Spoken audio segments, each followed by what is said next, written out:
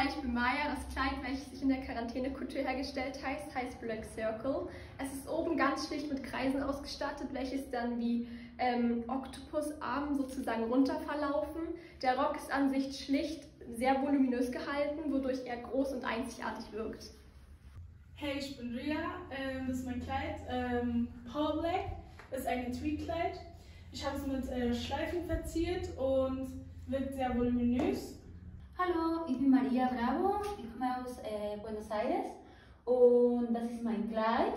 Äh, es, das Kleid ist äh, in Anfang Frühlingsinferiert und äh, ich habe den Kleid äh, Spring, äh, Black Spring genannt. Ähm, also Black Spring ist ein Widerspruch, äh, weil normalerweise Spring ist nicht schwarz, sondern farbenfroh. Herausforderung war, ähm, ein schönes Produkt aus äh, Mülltüten zu machen. Hi, ich bin Brenda, das ist mein Couture-Kleid. Also ich hatte zuerst eine ganz andere Materialbearbeitung im Sinn, aber im Endeffekt haben wir uns dann doch für diese Rüschen entschieden. Und dort habe ich dann einfach kleinere Rüschen gemacht für das Oberteil und dann ganz viele große Rüschen für das Unterteil und so habe ich dann Volumen aufgebaut und dem Kleid die Silhouette gegeben.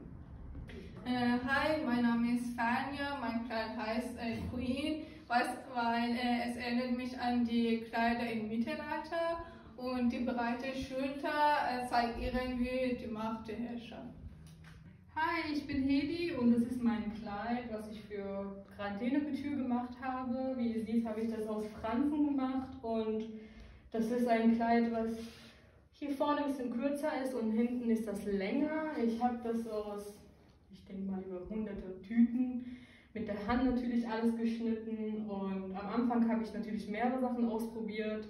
Am Ende hat mir doch diese Franken-Methode am besten gefallen, da das eine sehr schöne Bewegung hat und es war ein bisschen auffällig, aber ich bin sehr zufrieden.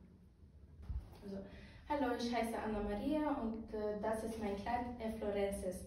Ähm, Inspiration war ein Blutenmeer. Durch diese Materialverarbeitungen habe ich äh, so ein großes Volumen erschaffen und ich glaube, es ist ein Oscar-reif äh, Silhouette. Warte kurz.